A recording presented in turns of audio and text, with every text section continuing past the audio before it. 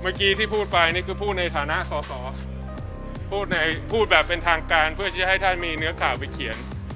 อยากจะขอพูดอะไรจากใจในฐานะประชาชนสักหน่อยกับพี่น้องประชาชนที่มาเยี่ยมเราในวันนี้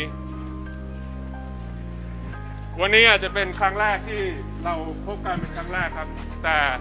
ทุกท่านอาจจะไม่ทราบว่าทุกสิ่งที่ท่านทำมาเนี่ยมีความหมายกับผมส่วนตัวเนี่ยมานานมากแล้ว ในเวลาที่ท้อใจตอนเด็กๆ เวลาที่รู้สึกหมดหวัง ก็เป็นเซป t ูราเป็นไอรอนเมเดนเป็นออสซี่ออสบอร์เป็นมาสเตอร์พับเพทที่ร็อกผักที่ทำคอยปลอบประโลมให้จิตใจของผมยังมีความเข้มแข็งอยู่ได้พอโตขึ้นมาเป็นมหาวิทยาลัย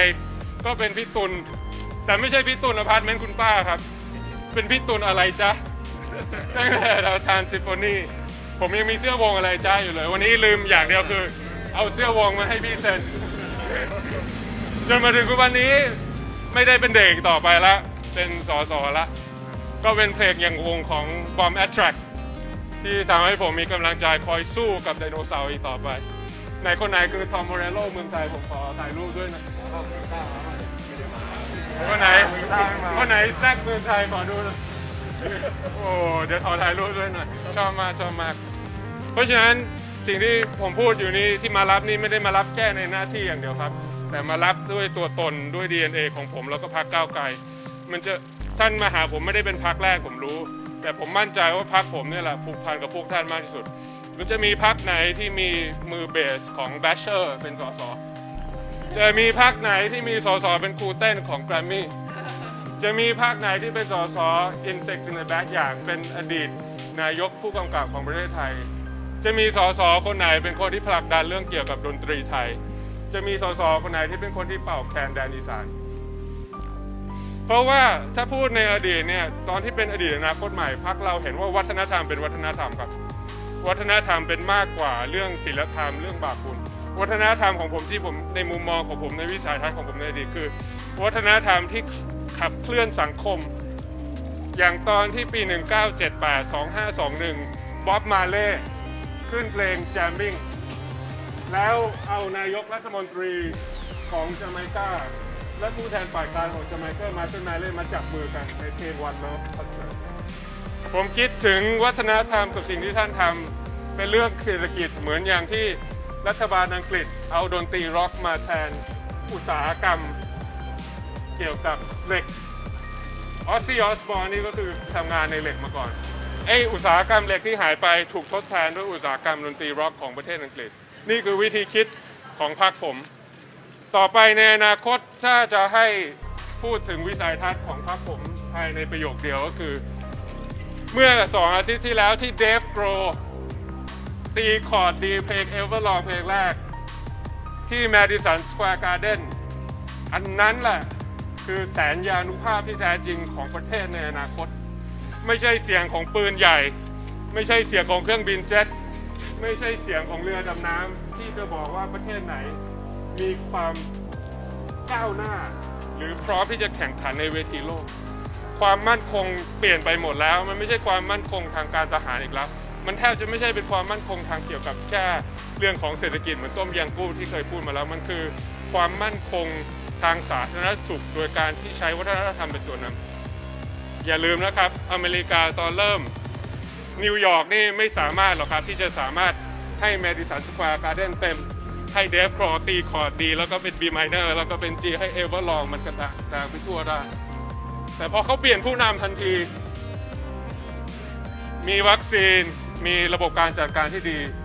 สิ่งที่สิ่งที่รัฐบาลอเมริกาทำได้ที่นิวยอร์กวันนั้น เป็นสิ่งที่ดังไปทั่วประชาคมโลก ว่าประเทศที่จะมีจุดยืนในในโลกใบใหม่ คือประเทศแบบไหน ถ้าท่านเห็นด้วยกับวิธีคิดของผมกับ DNA ของพรรคผม กับวิสัยทัศน์ของผมในการมองวัฒนธรรมเป็นมากกว่านั้นวัฒนธรรมการทำมาหากินจะ6โมงเช้าหรือ6โมงเย็นมันก็คือการอบรับความหลากหลายของอาชีพ ที่ประเทศไทยจะต้องคิดแบบนี้ในการที่จะก้าวไปข้างหน้าให้ได้ ถ้าท่านเชื่อในแบบนี้เชื่อในวิธีคิดแบบนี้ ขอแรงสนับสนุนครับ ขอแรงสนับสนุนให้กับพรรคก้าวไกล ในการที่จะจับมือร่วมกันไปในการผลักดันให้เปลี่ยนประเทศไทยให้ได้สักทีหนึ่งเมื่อกี้ที่พูดไปนี่คือพูดในฐานะสสพูดในพูดแบบเป็นทางการเพื่อที่จะให้ท่านมีเนื้อข่าวไปเขียน อยากจะขอพูดอะไรจากใจในฐานะประชาชนสักหน่อยกับ พี่น้องประชาชนที่มาเยี่ยมเราในวันนี้ วันนี้อาจจะเป็นครั้งแรกที่เราพบกันเป็นครั้งแรกครับ แต่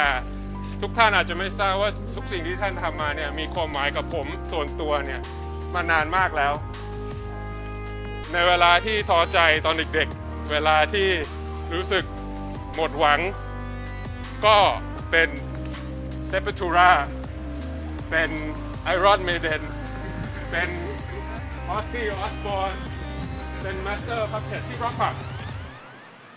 ที่ทำคอยปลอบประโลมให้จิตใจของผมยังมีความเข้มแข็งอยู่ได้พอโตขึ้นมาเป็นมหาวิทยาลัยก็เป็นพี่ตุลแต่ไม่ใช่พี่ตุลอพาร์ตเมนต์คุณป้าครับ เป็นพี่ตุลอะไรจ๊ะตั้งแต่เราทานซิมโฟนีผมยังมีเสื้อวงอะไรจ้าอยู่เลย วันนี้ลืมอย่างเดียวคือ เอาเสื้อวงมาให้พี่เซ็นจนมาถึงวันนี้ ไม่ได้เป็นเด็กต่อไปละเป็นสอสอละ ก็เป็นเพลงอย่างวงของ Bomb Attract ที่ทำให้ผมมีกำลังใจคอยสู้กับไดโนเสาร์อีกต่อไปไหนคนไหนคือทอมโมเรโลเมืองไทยผมขอถ่ายรูปด้วยนะคนไหนคนไหนแซกเมืองไทยขอดูนะโอ้เดี๋ยวขอถ่ายรูปด้วยหน่อยชอบมากชอบมาก เพราะฉะนั้นสิ่งที่ผมพูดอยู่นี้ที่มารับนี่ไม่ได้มารับแค่ในหน้าที่อย่างเดียวครับ แต่มารับด้วยตัวตนด้วย DNA ของผมแล้วก็พักก้าวไกล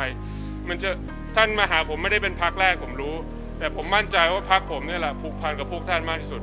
มันจะมีพักไหนที่มีมือเบสของแบชเชอร์เป็นสสจะมีพักไหนที่มีสสเป็นครูเต้นของแกรมมี่จะมีภาคไหนที่เป็นสส Insect in the Backyard เป็นอดีตนายกผู้กำกับของประเทศไทย จะมีสสคนไหนเป็นคนที่ผลักดันเรื่องเกี่ยวกับดนตรีไทย จะมีสสคนไหนที่เป็นคนที่เป่าแคนแดนอีสานเพราะว่าถ้าพูดในอดีตเนี่ยตอนที่เป็นอดีตอนาคตใหม่พักเราเห็นว่าวัฒนธรรมเป็นวัฒนธรรมครับ วัฒนธรรมเป็นมากกว่าเรื่องศีลธรรมเรื่องบาปบุญวัฒนธรรมของผมที่ผมในมุมมองของผมในวิสัยทัศน์ของผมในอดีตคือ วัฒนธรรมที่ขับเคลื่อนสังคม อย่างตอนที่ปี 1978 2521 Bob Marley ขึ้นเพลง Jamming แล้วเอานายกรัฐมนตรีของจาเมกาและผู้แทนฝ่ายค้านของจาเมกามาเช่นมาเล่มาจับมือกันในเพลง One Love คอนเสิร์ตผมคิดถึงวัฒนธรรมกับสิ่งที่ท่านทำเป็นเรื่องเศรษฐกิจเหมือนอย่างที่รัฐบาลอังกฤษเอาดนตรีร็อกมาแทนอุตสาหกรรมเกี่ยวกับเหล็ก Ozzy Osbourne นี่ก็คือทำงานในเหล็กมาก่อนไออุตสาหกรรมเหล็กที่หายไปถูกทดแทนด้วยอุตสาหกรรมดนตรีร็อกของประเทศอังกฤษ นี่คือวิธีคิดของพรรคผม ต่อไปในอนาคตถ้าจะให้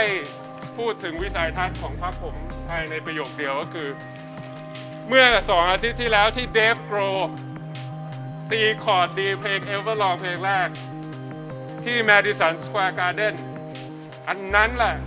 คือแสนยานุภาพที่แท้จริงของประเทศในอนาคต ไม่ใช่เสียงของปืนใหญ่ ไม่ใช่เสียงของเครื่องบินเจ็ต ไม่ใช่เสียงของเรือดำน้ำที่จะบอกว่าประเทศไหน มีความก้าวหน้า หรือพร้อมที่จะแข่งขันในเวทีโลก ความมั่นคงเปลี่ยนไปหมดแล้ว มันไม่ใช่ความมั่นคงทางการทหารอีกแล้ว มันแทบจะไม่ใช่เป็นความมั่นคงทางเกี่ยวกับแค่เรื่องของเศรษฐกิจเหมือนต้มยางกู้ที่เคยพูดมาแล้วมันคือความมั่นคงทางสาธารณสุขโดยการที่ใช้วัฒนธรรมเป็นตัวนำอย่าลืมนะครับ อเมริกาตอนเริ่ม นิวยอร์กนี่ไม่สามารถหรอกครับ ที่จะสามารถให้ Madison Square Garden เต็ม ให้ Dave Grohl ตีคอร์ด D แล้วก็เป็น B minor แล้วก็เป็น G ให้ Everlong มันกระจายไปทั่วได้ แต่พอเขาเปลี่ยนผู้นำทันที มีวัคซีนมีระบบการจัดการที่ดี สิ่งที่สิ่งที่รัฐบาลอเมริกาทำได้ที่นิวยอร์กวันนั้น เป็นสิ่งที่ดังไปทั่วประชาคมโลก ว่าประเทศที่จะมีจุดยืนในในโลกใบใหม่ คือประเทศแบบไหน ถ้าท่านเห็นด้วยกับวิธีคิดของผม กับ DNA ของพรรคผม กับวิสัยทัศน์ของผมในการมองวัฒนธรรมเป็นมากกว่านั้นวัฒนธรรม การทำมาหากินจะ6โมงเช้าหรือ6โมงเย็น มันก็คือการอบรับความหลากหลายของอาชีพ ที่ประเทศไทยจะต้องคิดแบบนี้ในการที่จะก้าวไปข้างหน้าให้ได้ ถ้าท่านเชื่อในแบบนี้ เชื่อในวิธีคิดแบบนี้ ขอแรงสนับสนุนครับ ขอแรงสนับสนุนให้กับพรรคก้าวไกล ในการที่จะจับมือร่วมกันไปในการผลักดัน ให้เปลี่ยนประเทศไทยให้ได้สักทีหนึ่ง